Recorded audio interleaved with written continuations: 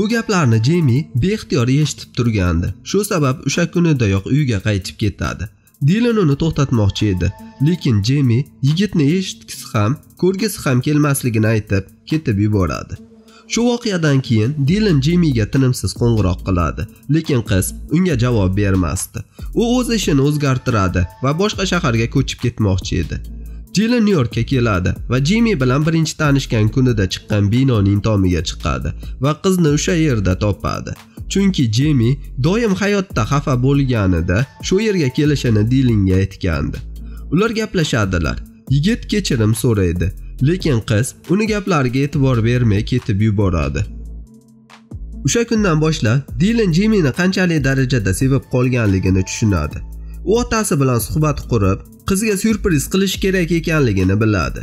Jimmy vokzalda boshqa shaharga ketmoqchi bo'lib kelganida, Jilin yuzdan oshiq raqqos yordamida unga syurpriz qiladi va qizni yoniga kelib, uni chin ko'ngildan sevib qolganligini aytadi.